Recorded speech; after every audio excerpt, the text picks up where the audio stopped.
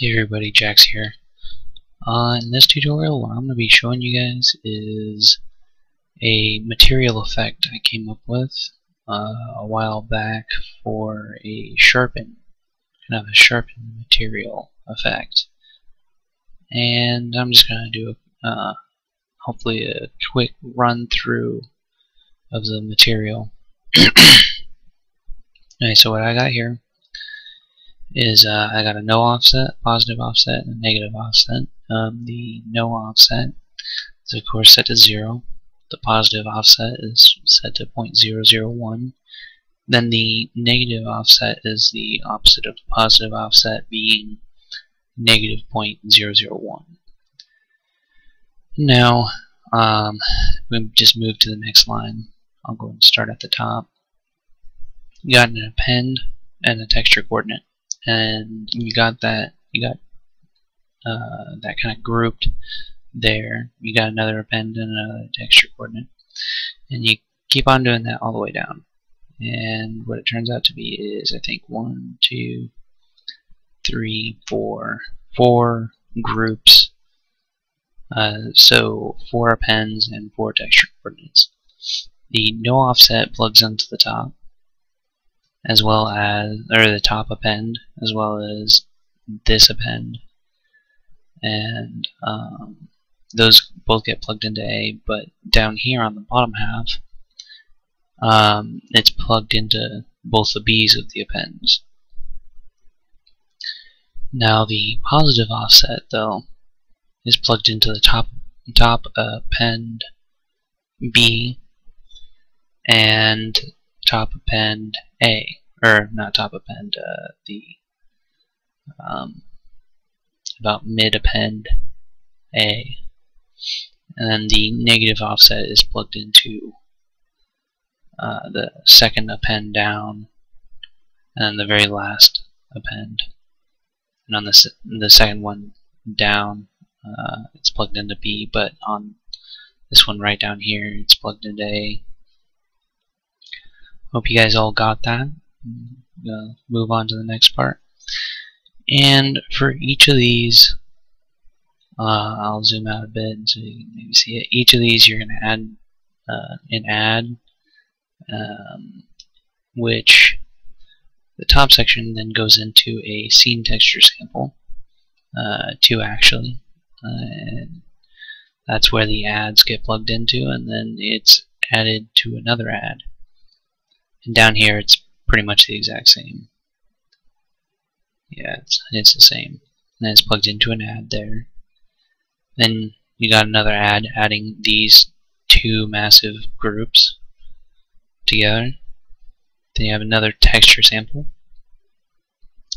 And you add that texture, scene texture sample to all of this back here. And from there, you will uh, plug it into a divide and you uh, add a constant and set it to 5 so you're dividing all of this by 5 and then you're gonna just plug that right into a subtract B and then the scene texture sample goes into the subtract A. And that goes into a mask for G.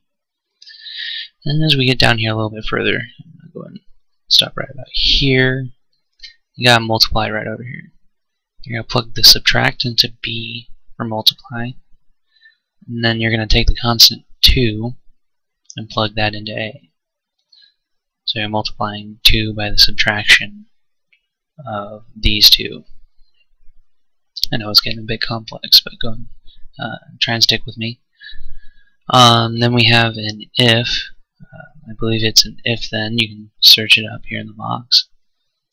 Um, and the mask G gets plugged into A.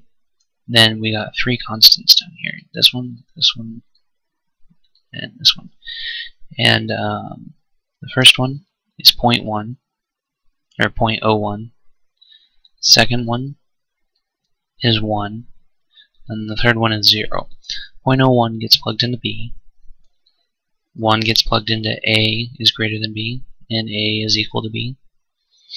And 0 gets plugged into A is less than B.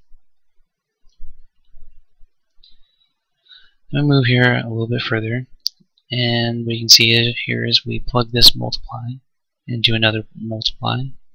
We take that if uh, box and plug it into B for multiply. And then we take a scene texture sample again and plug that into add, as well as uh, from the multiply we plug into add. And then we just stick that right into emissive, and we have our sharpen effect. And what you would do with this is then go and create a post-process chain by right-clicking and going to new post-process chain. And then you would open it. You would right-click and create a material effect right here. Go in there. Grab your material, the sharpened material, and hit that green arrow. And if everything, if you did everything correctly, you could go and uh, go into view world properties uh, rendering and then world process, post process chain. Select your post process chain and select this. And the material effect will work. As you can see it really sharpens up the scene here. So that about wraps it up for this tutorial. Thank you guys for watching and uh, please like, comment, subscribe, and I'll see you in the next video.